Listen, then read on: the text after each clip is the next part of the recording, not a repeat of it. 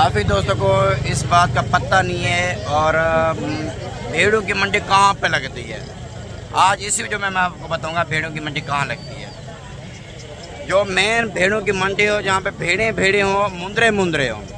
आज इस वीडियो में मेरे भी आपको डिटेल के साथ आपको बताऊँगा, वीडियो मुकम्मल देखे तो आप पूरी मालूम हासिल करें इन आपको मज़ा आएगा। अगर मेरे पास आना चाहते हैं तो जी बिस मिला कर मेरे पास नहीं आते, फिर भी आपकी मर्ज़ी है मेरे भी। मेरी कोशिश क्या होती है, वीडियो बना के आप एक रेट कंफर्म करना। मंडियों का रेट चेक करना, मंडी का रूटीन चेक कराना, मंडी महँगी है, सस्ती है, मंडी कहाँ पे लगती है, और हमें किस मंडी से खरीदारी करनी चाहिए। अगर मैं आपको वीडियो बना के दिखा रहा हूँ, अगर आप मुझसे रबता करते हैं मैं जिम्मेवार आदमी हूँ। भेड़े ने, उसका मैं जिम्मेवार आदमी गब्बन का, पैसों का, हर लेन देन का, हर मसले मसल का, आपके घर तक, आपके शहर तक भिजवाने का, वो भी कार्गो का, सारा कुछ, वो मेरे जिम्मे होगा वो भी मैं जिम्मेवार हूँ लेकिन अच्छा मैं आपको एक और बात बताता हूँ। अगर मैं जो मंडी पे आपको आके ना जानवर दिखाता हूँ, लेकिन इसमें मैं कुछ आपसे कमीशन लेता हूँ। कमीशन कितना होता है? आपकी सोच से ज़्यादा काम होता है। वो मैं आपको कार में बताऊँगा, यूँ सभी आपके क्या कमीशन लेते हैं। लेकिन मेरे भाई, जो कमीशन लूँगा ना, आपको फ़ायदा भी दूँगा। फ़ायदा ये होगा जो आपकी सोच है ना, आप कहेंगे, यार, हमें तीस की समझ आती है। वो आपको सात तो आठ हज़ार में आपको वो भेड़ सस्ती करा के दूँगा। सस्ता, आप कहेंगे, यार, इतना सस्ता क्यों मिलता है? आप कैसे देते हैं? मेरे पास ज़्यादा जानवर सेल कराने की वजह से जानवर मुनासिब अलहमदिल्ला में रेट मिलता है। क्योंकि हम ये करते हैं व्यापार से जानवर मैं नहीं ले सकता। क्यों? व्यापार से जानवर सस्ता नहीं मिलता। मैं लेता हूँ गाँव के लोगों से गाँव के लोगों से आपको पता है, जानवर जो है ना, वो बारे का मुनासिब अलहमदिल्ला मिल सकता है। मेरी कोशिश ये होती है, क्योंकि इतना पर दूर दूर से आते हैं, परदेसी मेहमान साहब आते हैं, उनकी सोच है और उनसे जानवर मुनासिब मिलना चाहिए। भेड़ों के क्या फ़ायदे मैं आपको ये भी बताता हूँ, भेड़ों के वो फ़ायदे हैं, अगर आप गरीब ने गरीब आदमी हैं अगर आपके पास ज़मीन रकबा है मेरे भी एक बार आप भेड़ों की गोट फ़ार्मिंग करके देखें इन मेरे भी आपका दिल खुश होगा। बकरियों से भी ज़्यादा फ़ायदा है मेरे भी। अगर वैसे भी हर किसी की अपनी मर्ज़ी, अगर बकरियाँ चाहिए, मुंदरे चाहिए, भेड़ें चाहिए, आप अगर पहली बार गोड फ़ार्मिंग कर देना, आप भेड़ों की एक बार गोड फ़ार्मिंग करें इन मेरे भी दिल आपका खुश होगा। इसमें बहुत फ़ायदा है। अच्छा मेरे भाई, आप लेते हैं, हर साल मुंद्रा लेते हैं। मुंद्रा लेने के बाद आप उनको सीज़न लगा देते हैं। आपके पास पीछे नस्ल ख़त्म होगी ना, आप एक बार भेड़ रखें मुनासिब रेट में इक्कीस हज़ार, बाईस हज़ार, तेईस, चौबीस, पच्चीस, सताईस हज़ार तक भेड़ रखें यही भेड़ आपके पास होकर ना बार बार बच्चे देते रहेंगे उसमें आपको फ़ायदा होगा। बाकी बैक कैमरे से मैंने सारी मालूम आपको तफसी मैं आपको एक एक बात इन मेरे भी बताता हूँ, आपको रेट का कंफर्म करता हूँ। अच्छा मेरे दोस्त, सबसे पहले ना मैं एक आपको लाट आपको दिखा रहा हूँ। अच्छा मेरे मेरे दोस्त, ये भी दोस्त बहुत गलती करते हैं, कहते हैं, यार, भेड़े हमें चाहिए, मोटापे वाली होनी चाहिए। मेरे दोस्त, मेरे भाई, देखो लेना देना नसीब की बात होती। है अगर आप पहली बार काम करते हैं ना, मोटापे वाले भेड़ें कभी ना खरीदना। ज़्यादा मोटापे वाले जो जानवर होगा ना, वो उसके ऊपर होते हैं चर्बी। चर्बी चढ़े वाला जानवर, वो कभी क्रास नहीं होता, वो बच्चे नहीं दे सकती, लेकिन वो उसमें आपको नुकसान होगा, वो फंडर ही होता है। जानवर रखें, और सही हो, ना ज़्यादा मोटापे में हो, ना ज़्यादा कमज़ोर में हो। इसी सूरत में जो आप ये जानवर देख रहे हैं ना, जो जो में नज़र आ रहे हैं ना आप इसी तरह का जानवर रखें, इसमें आपको इंशाल्लाह फ़ायदा मिलेगा। ये होते हैं और फ़ार्मिंग के कामयाब ब्रिज, जो मेन फ़ायदा दे सकते जानवर जो मेन ब्रिज होते हैं ना, वो यही होते हैं। आपने इनके नकोड़े देखे। बात छोटे बड़े की नहीं होती, भाईजान, बात नस्ल की होती है। जितना आप अच्छा ब्रिजर इनमें छोड़ेंगे ना, कल को उतना आपको फ़ायदा होगा। ब्रिजर हैवी क्वालिटी का, महँगे ने महँगा छोड़े, भेड़े सस्ते ने सस्ती छोड़े फ़ार्मिंग है, उसमें आपको ज़्यादा फ़ायदा होगा।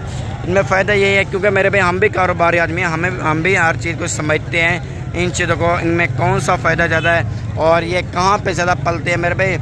आप नए बंदे, अगर आप पंजाब से हैं, पूरे पाकिस्तान मतलब कहीं से भी है ना, आप भेड़ों की गोट फ़ार्मिंग करें, इंशाल्लाह ये हाट होते हैं, सर्दी, गर्मी भी बर्दाश्त कर लेते हैं और इंशाल्लाह इसमें आपको फ़ायदा भी मिलेगा।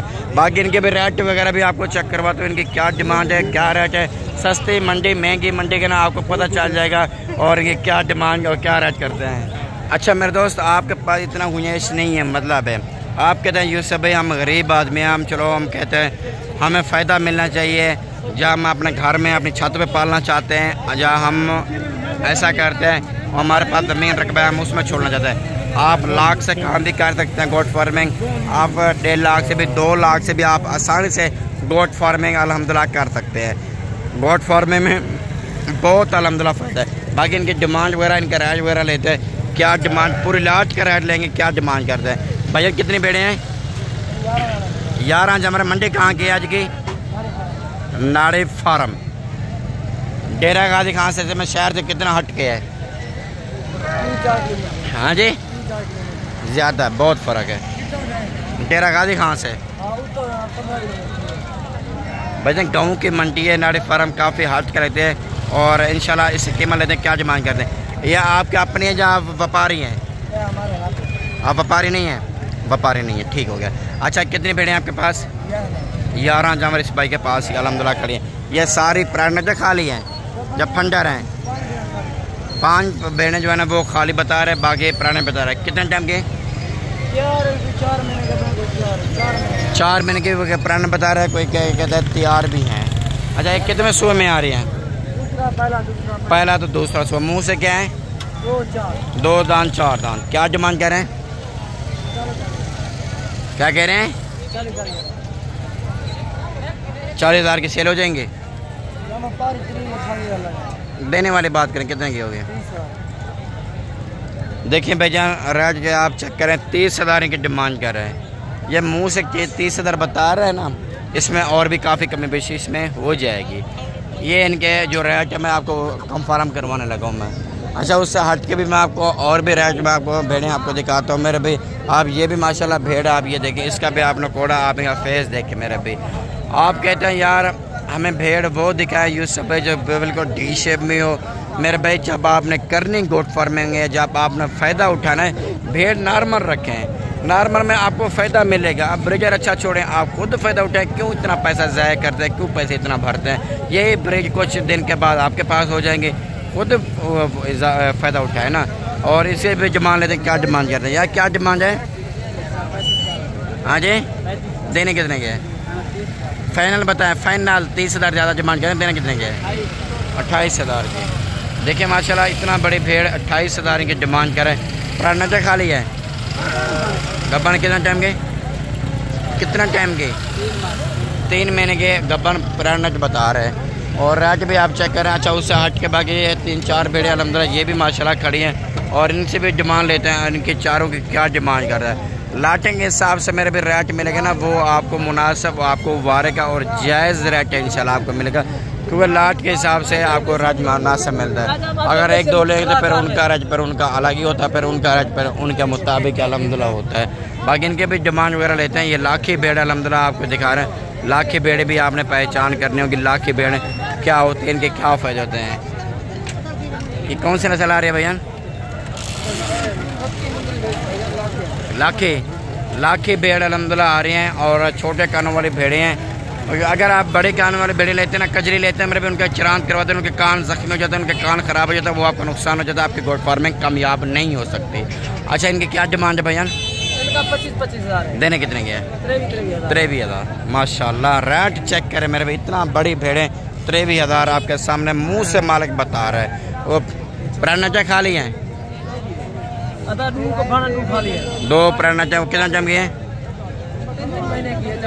तीन तीन, चार चार महीने के प्राण बता रहे हैं। उससे हट के बकायदा मैं आपको ये भी दो भेड़े अलहमदिल्ला ये भी आपको दिखा रहा हूँ। ये भी भेड़े मेरे भी आपने चेक करे मंडी से ना मैं किसी जमर का अपने मुँह से, अपनी तरफ़ रेट नहीं बताता, क्योंकि ना ये मेरे जमर मालिक से खुद पूछ के बताता हूँ, आपको फिर मंडी का सही, आपको रूटीन का आपको पता चलेगा। क्या डिमांड है भैया देना कितने का है? हाँ जी? पचवंजा। दोनों का बता रहा है पचवंजा हज़ार और पुराना खाली है। मुँह से क्या है? मुँह से दो दांत एक चार दांत है और एक पुराना खाली है।